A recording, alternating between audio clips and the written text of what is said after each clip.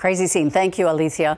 Seven people without a home this noon, but they are holding on to their special memories after a fire this morning. It happened the 12,000 block of La Lira Street in a neighborhood between Wurzbach Parkway and Perrin Beitel. Sarah Costa learned the home was built 50 years ago by the owner's father. Devastated. Victor Aguilar woke up to members of his family shouting to get out after a wall of their home ignited in flames, the fire trapping him in his front bedroom with his wife.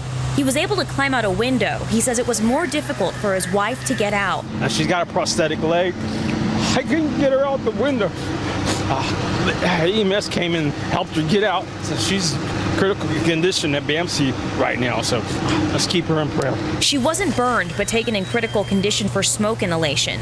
Aguilar was treated for smoke inhalation on scene and is going to be okay. His father, brother, and three other adults were also in the home and got out safely. Firefighters say they were called out to the 12,000 block of La Lita Street just after 3 this morning. Fire crews were able to contain the fire within an hour. One of the women in the home told firefighters she used the microwave, then shortly after she noticed a spark, and then the whole wall was on fire. Firefighters say they believe the cause was electrical.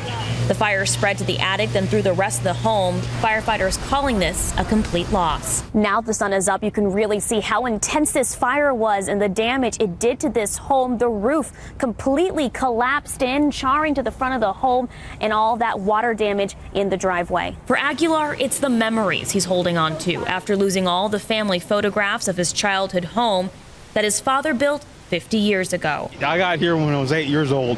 My dad's got a Super 8 film of me jumping up and down that that far wall over there, saying this is my room. It was just concrete slab. There was no houses out here at the time. Sarah Costa, KSAT 12 News.